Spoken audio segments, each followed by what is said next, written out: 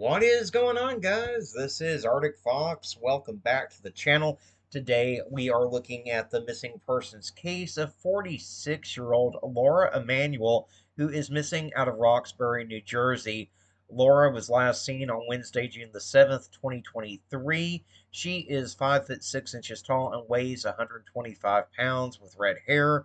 Authorities are asking for your help in trying to locate the missing woman. Lara's vehicle was later located at the Holiday Inn Express in Mount Arlington on Thursday, the 8th of June, 2023.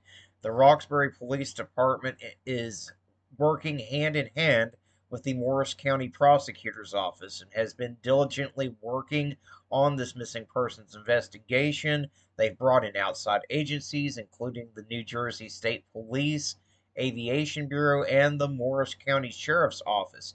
So far, there have been no leads as to what may have happened to Lara, and her family and friends are very concerned about her safety and her well being.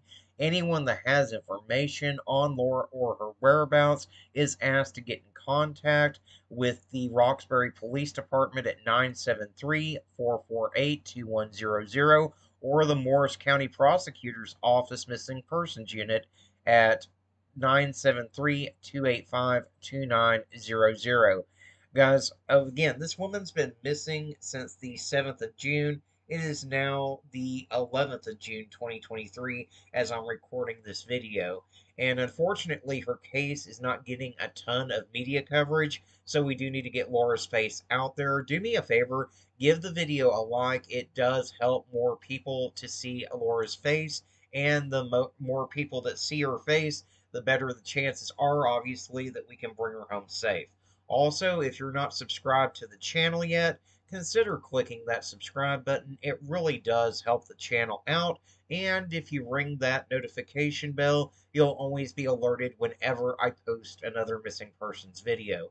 The most important thing that I need for all of you to do right now is to simply click that share button, guys. Share this to your Facebook, your Twitter, your Instagram, wherever you have social media. It only takes a second of your time to do, and it can make all the difference in the world in whether we're able to find Lara and bring her home safe or not.